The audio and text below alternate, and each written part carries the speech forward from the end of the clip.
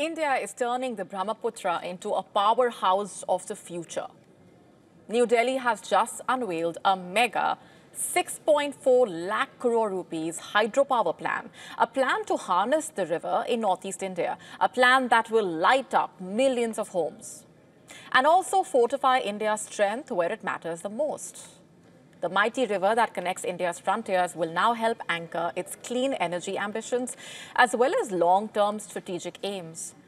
The plan includes tapping over 76 gigawatts of hydro capacity from the Brahmaputra basin by 2047.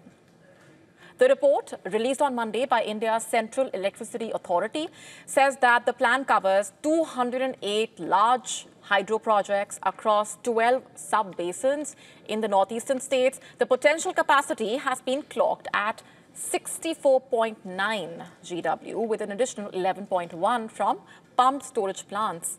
It's a mighty endeavor.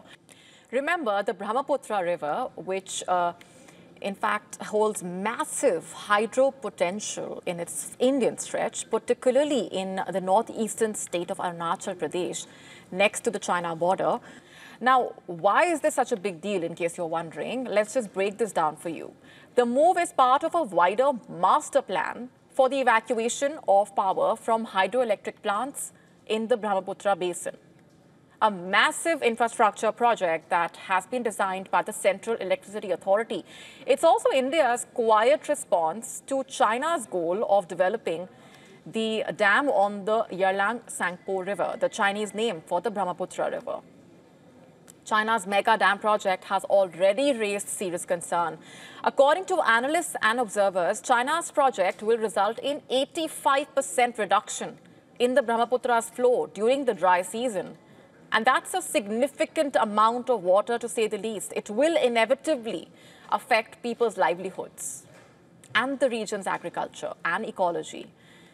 Currently, the Brahmaputra basin has an installed capacity of 4.8 gigawatts across 22 projects and another 2 gigawatts is in under construction projects.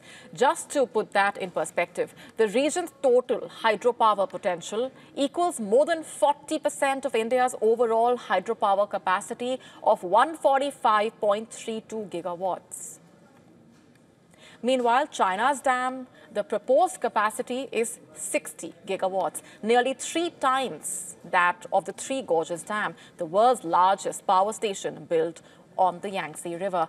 Now, China has refused to sign the 1997 UN Convention on the Law of the Non-Navigational Uses of International Watercourses, which basically governs the sharing and also the management of transboundary rivers. And that's a massive cause of concern. So China's projects would basically allow it to control and potentially weaponize the river which feeds the Siang, Brahmaputra and Jamuna rivers, leaving downstream communities in India at its mercy in a way. In fact, a 2020 report by Australian think tank talking about this, it said that control over these rivers in the Tibetan Plateau effectively giving China a chokehold on India's economy.